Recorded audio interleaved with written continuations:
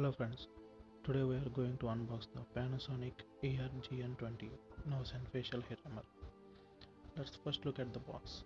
Backside we have about the model number, it's a dual edged blade, and shown some pics of it and uh, some more specifications. It made basically made in China.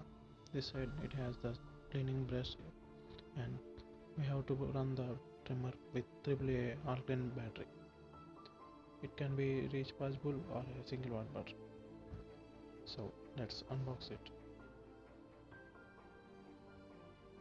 It can be used both for eyebrows bad uh, nose tails and many other tiny particles. So let's quickly unbox it.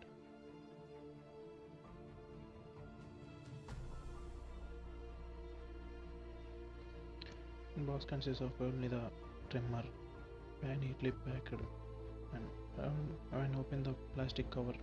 We can access directly the trimmer it is nicely finished and really smooth.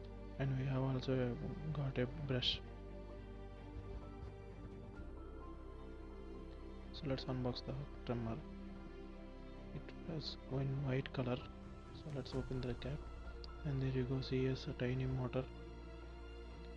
So look at where they have a button. It can be replaceable cap then the, the back motor runs towards it.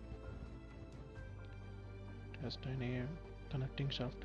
So let's twist and we have to load a AAA alkaline battery. Positive negative is going there. We have to place a AAA battery to operate the trimmer there is a lock mechanism, mechanism for it. And, and there is, then is a button.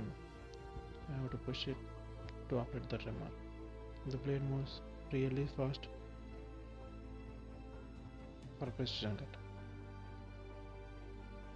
So it is a trimmer basically needs for a hair and facial nose.